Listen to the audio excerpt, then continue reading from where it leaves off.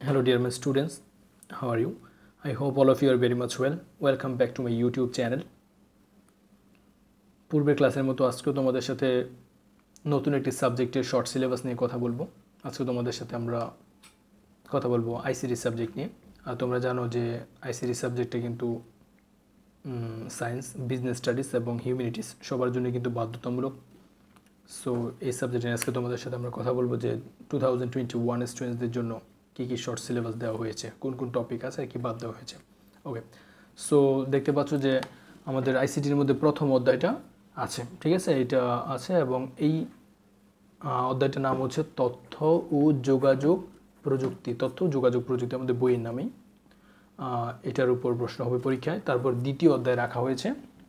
এটা তোমার হচ্ছে কমিউনিকেশন সিস্টেম এবং নেটওয়ার্কিং নিয়ে, বিভিন্ন নেটওয়ার্কিং টপোলজি এগুলো নিয়ে এই অধ্যায়টা তারপর হবে তোমার হচ্ছে তৃতীয় অধ্যায় থেকে প্রশ্ন হবে। তৃতীয় অধ্যায় তোমরা জানো যে এখানে দুইটা পার্ট আছে পার্ট ওয়ান এবং পার্ট টু পার্ট ওয়ানে আছে তোমার হচ্ছে কি? নাম্বার সিস্টেম দেবে সংখ্যা পদ্ধতি। তারপরে তৃতীয় অধ্যায়ের আরেকটা পার্ট আছে। তৃতীয় অধ্যায় কিন্তু দুইটা পার্ট এখানে কোনোটা কিন্তু বাদ দেওয়া হয় নাই। খুব মাথায় ভালো করে রাখবা যে তৃতীয় অধ্যায়ের কোন পার্টটা দুইটা পার্টে কিন্তু আছে, ঠিক আছে? টু পার্টস দুইটাই আছে। সংখ্যা পদ্ধতির অংশটা আছে।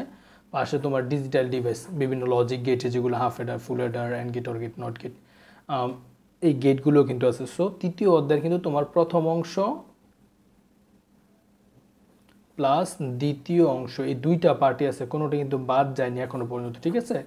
সো শর্ট সিলেবাসে কিন্তু তৃতীয় অধ্যায় প্রথম অংশ, সংখ্যা, পদ্ধতি নাম্বার সিস্টেম দ্বিতীয় অংশ লজিক গেট বা ডিজিটাল ডিভাইস এই দুইটা অংশই কিন্তু আছে, কোনোটা বাদ যায়নি।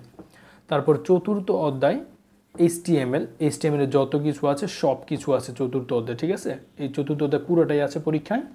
তবে তোমাদের জন্য খুব খুশির সংবাদ এটা যে পরীক্ষায় পঞ্চম অধ্যায় বাদ দেওয়া হয়েছে। তোমরা যারা পঞ্চম অধ্যায় প্রোগ্রামিং শিখতে, এটা কিন্তু অনেক স্টুডেন্টরাই কাভার করতে পারে না বা মোটামুটি কাভার করলে পরীক্ষা দিতে পারে না। সো আই থিঙ্ক তোমাদের যারা ওই অধ্যায়টা নিয়ে একটু ভয়ে ভয়ে ছিলে, ওদের জন্য বাদ দেওয়া হয়েছে। সো তোমরা ইজি ফিল করবে হ্যাঁ একটু ইজি ফিল করবে। আর ষষ্ঠ অধ্যায়টা সহজই ছিল বাট এটাও বাদ দেওয়া হয়েছে।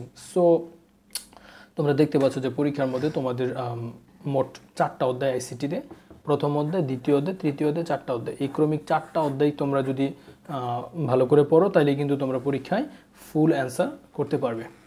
সো আশা করি ক্লাসটি ভালো করে দেখে থাকলে বুঝতে পারছ যে আইসিটির কোন কোন অধ্যায় আছে, কোন কোন সাবজেক্ট কোন কোন টপিক আর কোনগুলো বাদ দেওয়া হয়েছে।